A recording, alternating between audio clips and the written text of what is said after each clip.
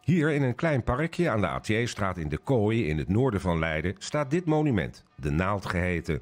Het hele jaar door spelen kinderen rond dit monument, behalve op de 4e mei in de namiddag.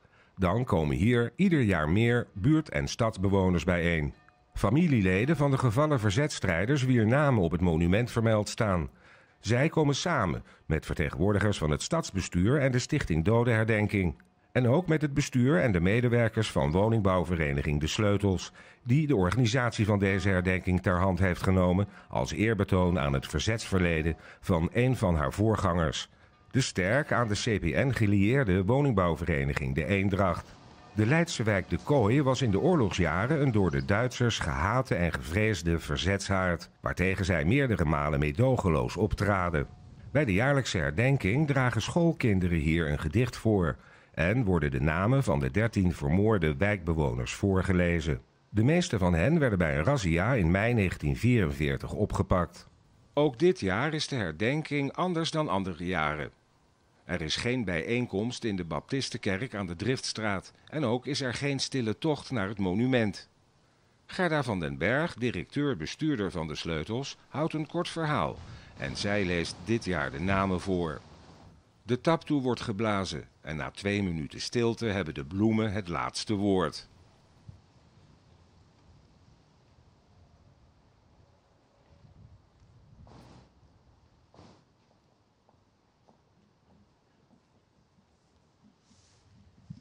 Goedemiddag en welkom bij onze jaarlijkse herdenking bij het monument van de Naald in de Oude Kooi.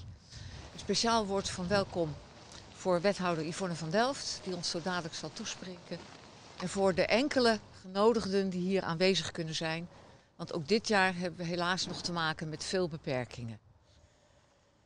Dit is een herdenking van 13 mensen wiens naam op de naald staat. En die verbonden waren met woningcorporatie De Sleutels. Leden, eh, medewerkers. En die allen in de Tweede Wereldoorlog het ultieme offer hebben gebracht leven. Dit is niet een lijst of een plek met heel veel namen en heel veel slachtoffers te herdenken. Dat maakt het hier altijd extra persoonlijk en dat maakt het extra jammer dat we dit jaar niet met een grote groep nabestaanden zoals andere jaren deze herdenking kunnen doen. Ik hoop dat er veel mensen via Sleutelstad TV meekijken, zodat ze toch iets van dat persoonlijke uh, toch nog kunnen ervaren bij deze herdenking. Het aantal namen is niet groot. Maar ieder van de mensen die hier op de naald staat, had familie, had vrienden, buren, vervulde een rol in de samenleving. Zij zijn het waard om ieder jaar opnieuw te herdenken. Zij verdienen onze gedachtenis vanwege dat ultieme offer wat zij hebben gebracht. Ik wil graag wethouder Yvonne van Delft het woord geven om ons toe te spreken.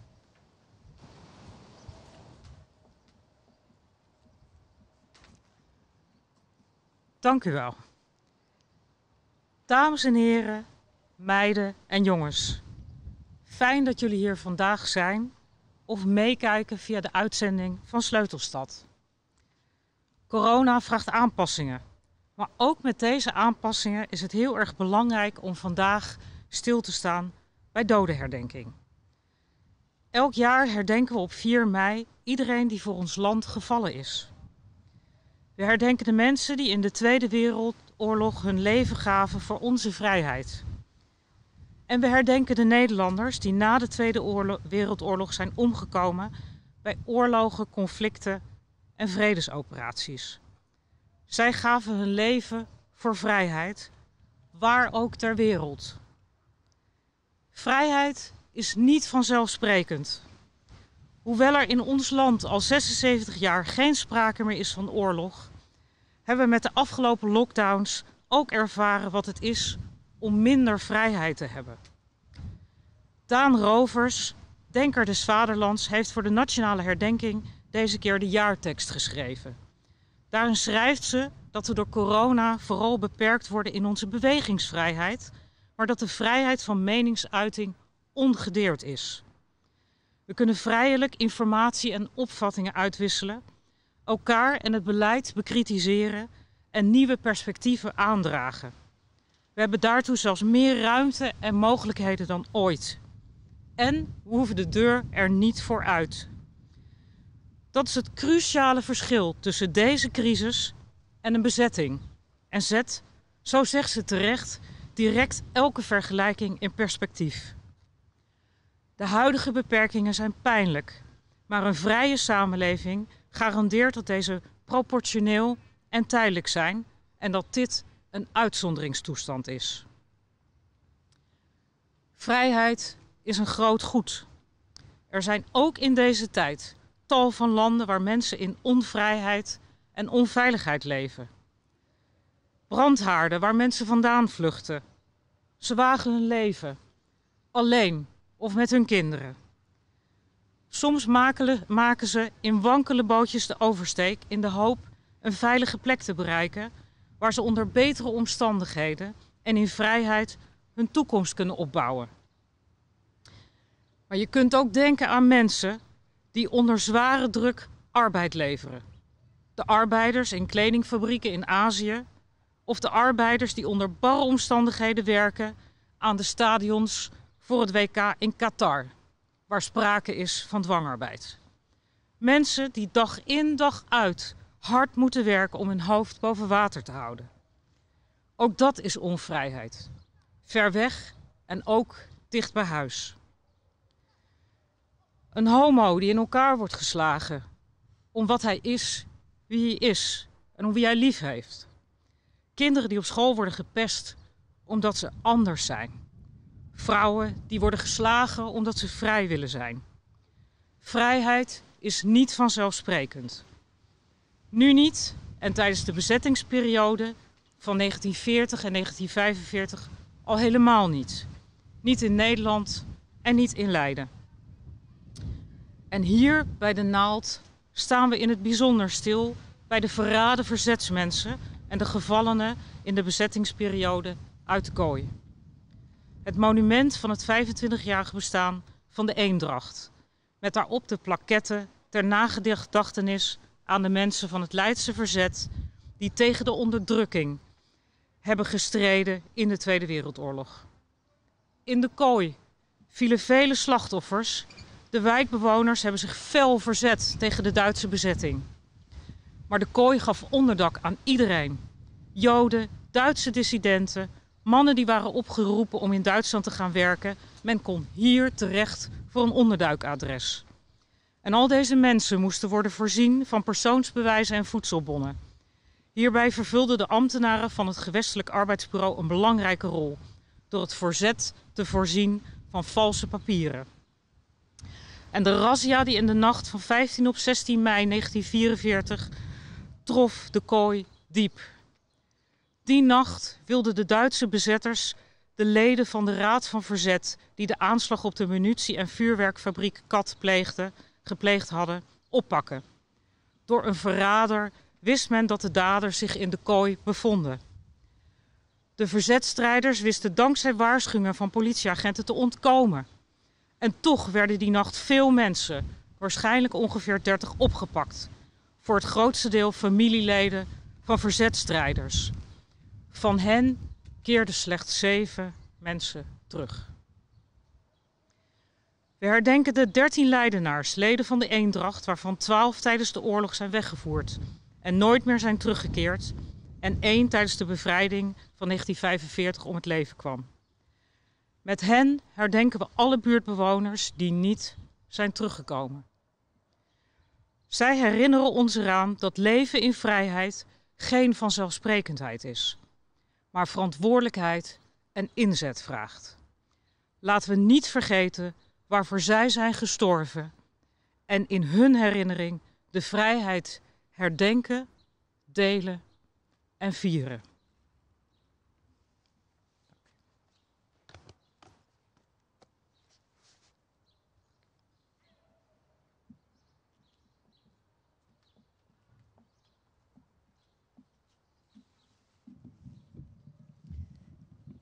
Wij herdenken 13 mensen, hier speciaal vandaag.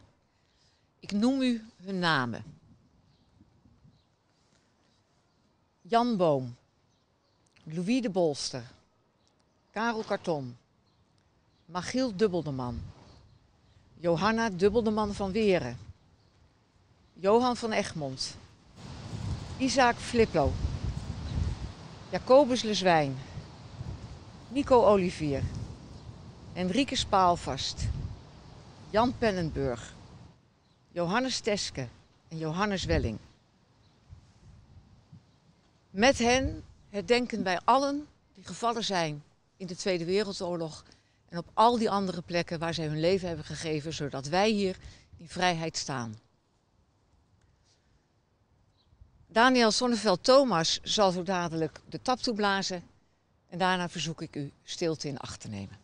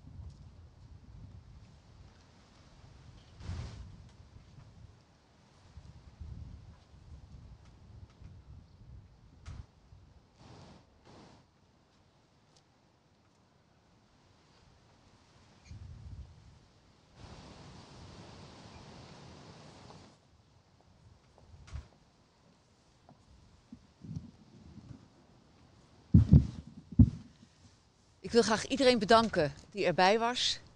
Het is ieder jaar toch weer een plechtigheid die mij in ieder geval raakt. Als je je probeert voor te stellen wat hier al die jaren geleden heeft plaatsgevonden.